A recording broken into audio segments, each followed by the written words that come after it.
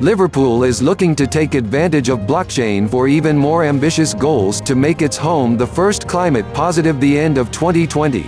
According to a tweet from the Liverpool City Council, the Poseidon Foundation has agreed to work with the city to integrate its blockchain-powered platform into city operations. The Poseidon Foundation uses blockchain technology that introduces transparency and traceability to make and track an impact where it matters most, forest conservation.